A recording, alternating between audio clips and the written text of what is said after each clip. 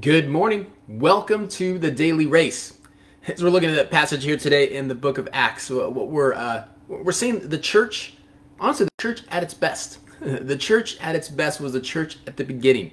Uh, it was growing rapidly. Uh, people were sharing in their possessions. There was the Holy Spirit was moving at, at, at, at just an incredible. Uh, well, people were perceiving the movement of the Holy Spirit. The Holy Spirit's still just as active today as he was then, um, but uh, we just see a movement of God taking place and all these miracles taking place and people joining and being baptized and getting saved and just amazing, amazing stuff. And uh, as we look at it here, well, one of the things we do is uh, as as Christians here today. So so what are things that that are uh, prescriptive, meaning we need to do these exact things, and what are descriptive? Uh, what are what are principles we see them playing out that apply to us today?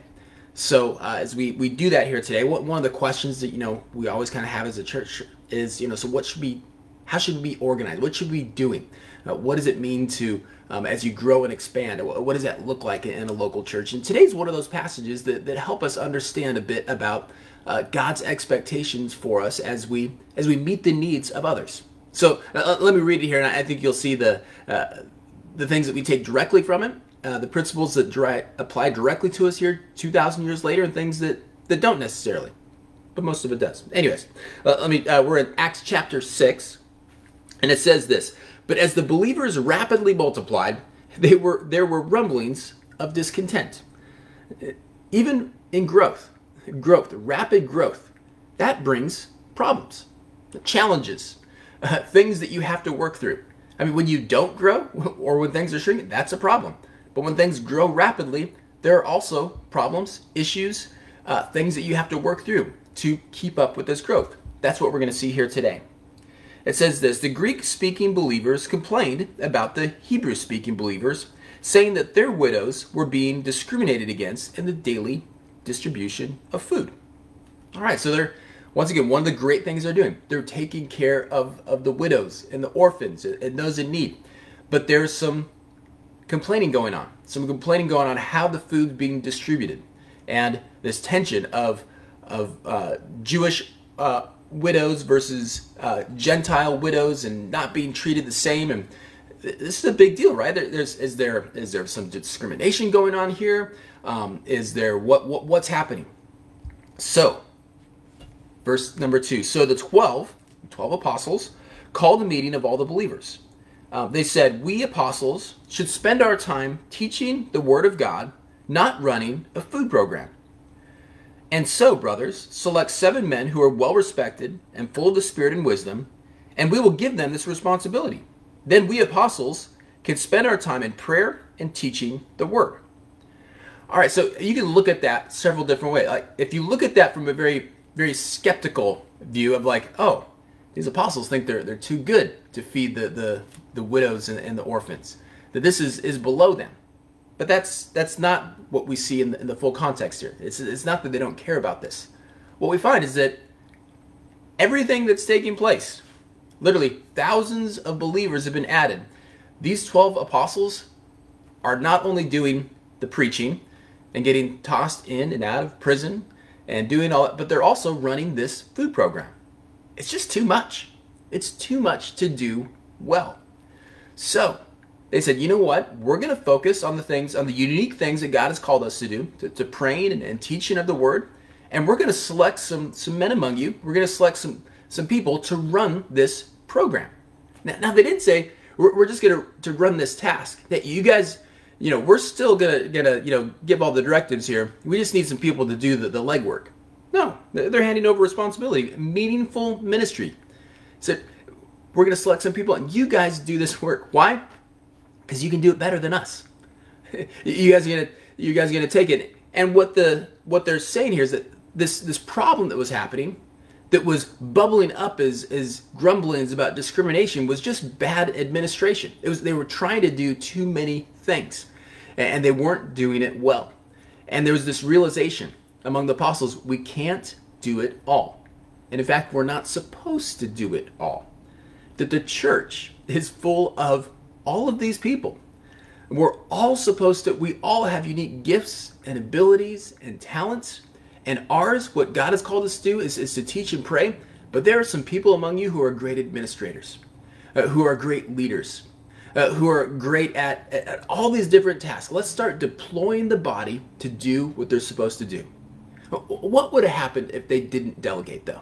What would happen if they kept all the responsibility to themselves? The church would have probably stopped growing. It would have stopped. You could. They could only manage so much. They can only do so many things, and eventually, if, if a leader doesn't empower those around them to do the work, the growth stops. They become the the, the lid to the growth. So as, as the Holy Spirit is leading and guiding them, hey, this is not your role. There are other people that can do this, not just as good as you, but better than you, because they weren't doing a good job. there was grumbling. We don't hear grumbling later. These seven men that were selected did a better job at this ministry than the apostles were doing. How amazing is that, right? Okay, let's see what happens next. It says, Everybody liked the idea, and they chose the following Stephen, uh, we're going to find out a little bit later here, uh, a man full of faith in the Holy Spirit, Philip, Prochorus, Nicanor, Timon, uh, Per, uh, and Nicholas of Antioch an early convert to the Jewish faith. These seven were presented to the apostles who prayed for them and they laid their hands on them. Notice also how strategic they were. There are some Greek names there, there are some, some Jewish names there. So, what was the issue? There was some possible discrimination or at least the appearance of it. Hey, we're going to pick some a well well balanced group here to do this. So what was the result? What was the result after the, the, the apostles released some control? empowered some people, not just gave away tasks, gave away responsibility. It says they gave them this responsibility. It says God's message continued to spread. The number of believers greatly increased in Jerusalem, and many of the Jewish priests were converted too. The religious leaders, some of them are starting to come to faith. Why? Because the apostles realized we can't do everything. Now, as we look at the church, there's obviously implications for this, right? When we talk about every member being on mission, every member of the church body has a role and responsibility, has gifts, has talents, has, and if we, as myself, the, pastor, and, and, and, other leaders of the church, if we do not uh, engage and pass off responsibilities to the member of the church, we're not going to do it as well. I, I can't do every single task in the church. That, that would be crazy, right? But by lifting up leaders, by developing others, by trusting the gifts and abilities that God has given others, we're able to continue to grow and expand and actually do a better job of the things that God has called us to do. That's true in the church. And then we can also even take this principle even further down into our daily lives. That you personally, what are the things that you need to focus on? What are the things that you need to trust others to do? If that's in your workplace, in your home, if that's in your community, we can only do so much. Uh, who do we need to trust? Who do we need to lift up? Not just with tasks, but with responsibility. And whatever that situation, whether that's in your family or in your workplace, in your community, don't be the lid to the growth. Don't be the, the cap to other people's potential. Don't hold other people down by not being willing to delegate responsibility to others. All right, let's go ahead and pause there for today, and then tomorrow we're gonna we're gonna pick up the account. Uh, here at the end of chapter six, we're gonna find Stephen gets arrested. Uh, one of those one of those deacons, uh, and that's the name for these servants, deacons, uh, ministry leaders here in the church. The first seven that they pointed here, um, but we're gonna find out what happens to him tomorrow after his arrest. For now, let's go ahead and pause there. Let's pray and get our day started. Heavenly Father, we, thank you so much for today. We thank you for just this incredible lesson in, in, leadership. And God, just this principle we see throughout Scripture, God. We see it through with Moses and, and Jethro and, and, and, trusting the 70, God. We see it here with the apostles and, and lifting up, in this one instance, you know, seven leaders to, to do this program. God, help us to, um, first of all, just that sense of humility, God, that we don't have to do it all, that we can't do it all. Uh, you haven't called us to do it all. Um, help us to see ways to to pass off responsibility, to trust others. And God, help us to, to look for opportunities to, to lead up as well, to, to take burdens and loads off of, of the leaders above us um, and, and help them. God, we just want to, to model your type of leadership. That, that leaders serve, uh, that, that we uh, put others' needs in front of our own. God, we just want to model our lives after you. So guide us and lead us today. Uh, help us to find some just some practical ways to, to, to live this out, uh, even, even as soon as today. In your name I pray. Amen. Amen. All right. Well, hey, I hope you have a great, great rest of the day.